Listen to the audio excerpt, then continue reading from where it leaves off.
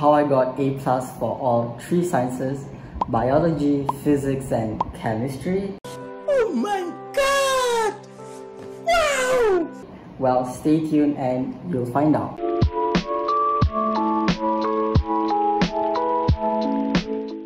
Things first is the references book that I use. So there is actually a wide variety of references book out there.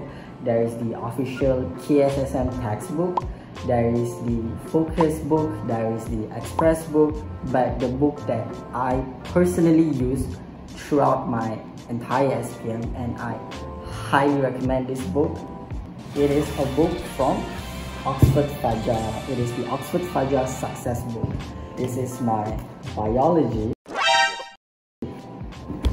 and this is my chemistry book and yes I do read them. I find it more interesting and fun to read. And as you can see this is the uh, chemistry elements.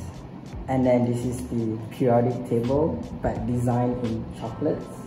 I think it's very comprehensive and complete. They combine both Form 4 and Form 5 syllabus into one book. The content is also parallel to the current syllabus and is very relevant during exams. For me, I think the way the content is structured in this book is also very easy to understand. It is actually the only references book that I use throughout my entire SPM, including for my paper 3 experiments. I memorize it or I learn it from here. Next is about taking and preparing notes. I actually never have an extra book made specially for writing my notes. the reason is why is because my notes are not very well organized so it is better off for me to just read it from the book. It is much more organized and aesthetically pleasing. Instead of writing my own notes, what I will do is that I will just read it off from my book and I will circle out, circle out or write a small description beside the points that I find important. And this also applies during class. So when the teacher is teaching I will just turn out to the relevant page the relevant information and just write down any supplementary information that the teacher is talking about. I'll just show you in a bit. This is my biology book.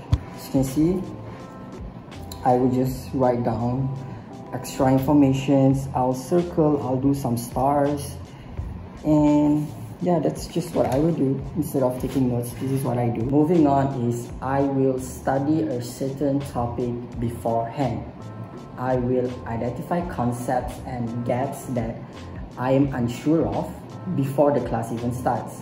So this is very good because when the teacher comes in after the class, I can directly ask her my uncertainty and my questions.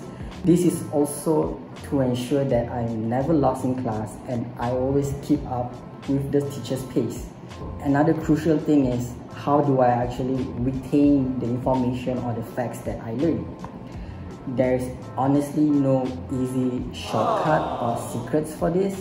It's basically effective studying.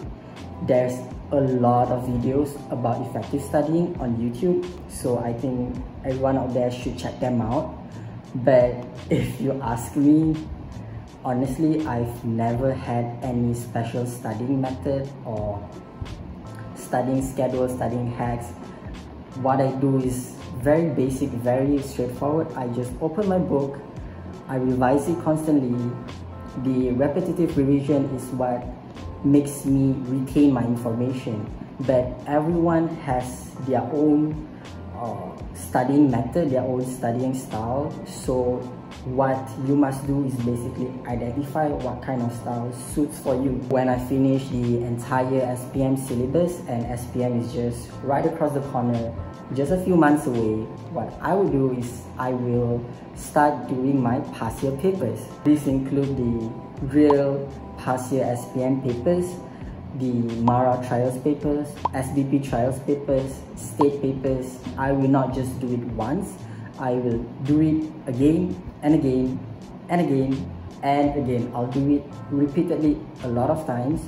This is because from what I realized, the questions are usually repetitive, I will eventually get a sense of the questions and the answers. Thinking back, the entire journey was definitely not easy, but your efforts will never betray you. You will reap what you sow. Inshallah, we'll meet again. Bye.